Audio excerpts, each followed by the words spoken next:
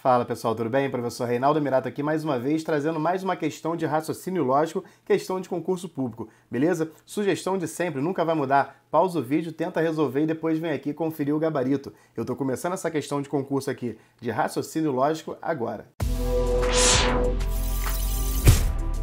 Fala galera, sem perder tempo, diz o seguinte, ó. Observe a sequência de números a seguir. Aí a sequência está aqui, ó. 2, 5, 7, 25, 12, 125 e reticências aqui para dar a ideia de infinito. A sequência mantém um padrão constante. Assim, a soma do décimo e o décimo primeiro termo é...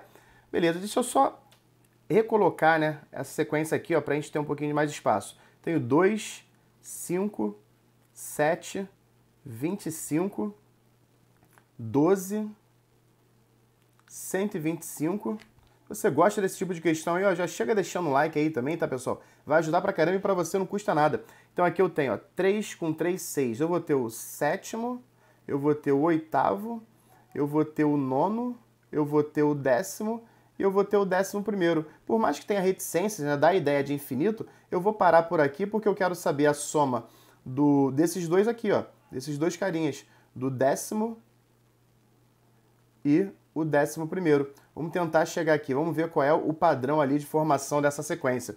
Só olhando assim, parece um pouquinho difícil, só que você vai ter que pensar um pouquinho fora da caixa. Como assim? Percebe aqui o seguinte, ó. Do 2 para o 5 eu somei 3.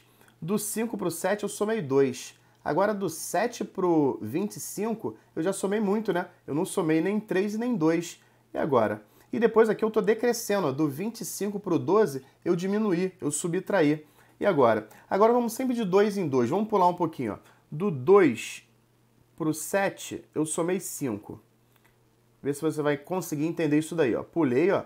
Do 7 para o 12, opa, eu também somei 5. Pronto, já descobrimos um padrão aqui. Porque do 12 para o próximo aqui, ó, sempre pulando uma casinha, eu vou somar 5 mais uma vez. Se eu somei 5 ao 12, aqui eu tenho 17. E agora do 17 eu vou chegar para cá e somar mais 5 unidades. 17 mais 5 eu vou ter 22. E do 22 para chegar aqui, ó, onde eu quero chegar, no 11º termo, eu também vou somar 5. Então aqui eu vou ter 27. Muito bom. Ó. Então já sei quem é o 11º termo, só que eu não sei quem é o décimo. Para descobrir quem é o décimo, eu tenho que descobrir um outro padrão aí. Aqui eu estou sempre ó, pulando uma casa e somando de 5 em 5. E agora, o que está faltando? Essa aqui, ó, daqui para cá, o que, que aconteceu?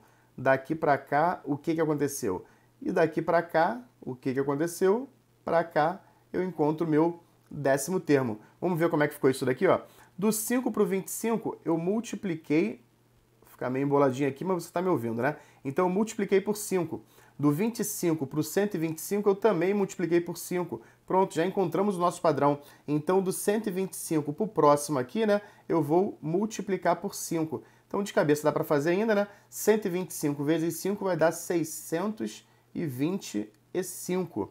E agora, do 625 para chegar nesse próximo aqui, eu também somei 5. Somei não, né? Perdão. Eu multipliquei por 5. E se eu multipliquei por 5, pode acreditar em mim, isso daqui vai dar 3.125. Pronto, já sei quem é o décimo, já sei quem é o décimo primeiro termo. Se está gostando, não esqueça de verificar se você é inscrito. Caso não seja, se inscreva, porque aqui tem vídeo com muita frequência, hein?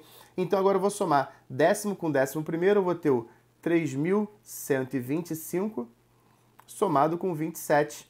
Somando esses dois termos aí, eu vou encontrar o nosso gabarito. 5 com 7 vai dar 12, vai 1. Eu tenho 4 aqui com 1 que tinha ido 5 e aqui é só repetir o 31, então é 3.152, isso daqui fica sendo a nossa letra A. Mais uma vez aí, letra A. Espero muito que você tenha gostado. Caso tenha alguma dúvida, deixe aqui nos comentários também. No mais, um grande abraço do professor Reinaldo Mirato.